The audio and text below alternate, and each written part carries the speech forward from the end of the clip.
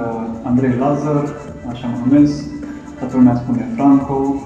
sunt uh, pasionat de breaking și cultura hip-hop și organizez un uh, eveniment cultural care se numește The Sweet Jam. Am ajuns la treia ediție și acum uh, se desfășoară la Casino Burnavon.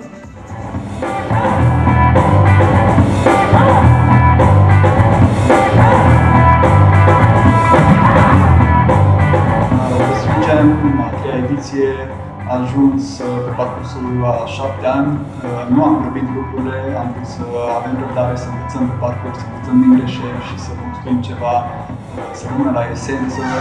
și să, să inspire mai departe. Pentru că și noi, după cum ai întrebat, noi am început uh, fiind, inspira, fiind inspirați dintre, de, de la anumite evenimente, cum ar fi Circle Kings, care este un uh, eveniment care s-a ținut uh, în, uh, în afara țării și, bineînțeles, și din țară, Get Fresh din Timișoara,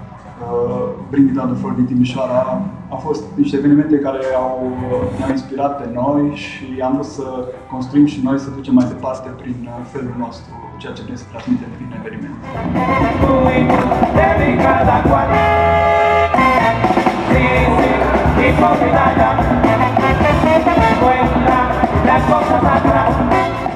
Ideea numelui evenimentului de Free Jam, precum și alte concepte care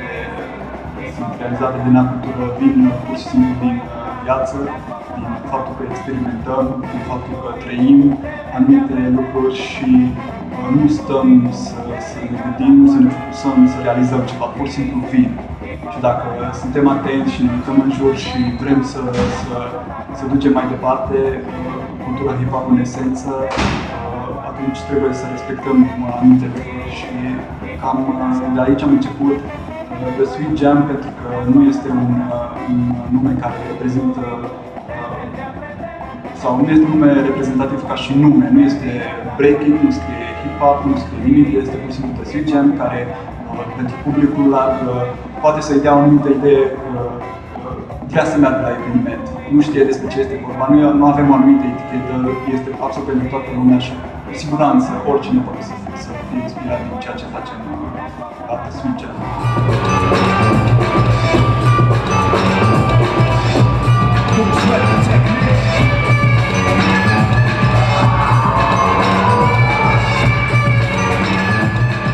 rolul workshop-urilor în comunitatea breaking și nu numai uh, este bazat pe un concept foarte vechi uh, care a apărut în cultura hip-hop se numește each one teach one și anume fiecare dintre noi la, la un moment dat dacă simțim că avem o anumită experiență, simțim că avem și o anumită responsabilitate pentru copiii care vor să se apuce de acest, acest dans și această cultură și să încercăm și noi să transmitem mai departe ceea ce am învățat și poate că îi ajutăm și poate că ei o să ajungă și mai departe și așa se construiește prin workshop-uri, se poate construi uh, o comunitate.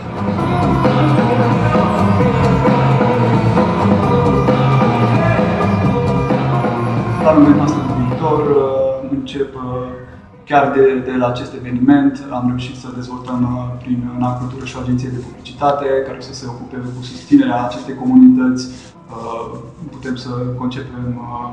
uh, de, de la idei pentru eveniment, de la uh, postere pentru eveniment, orice ține de publicitate, putem să, putem să susținem comunitatea prin,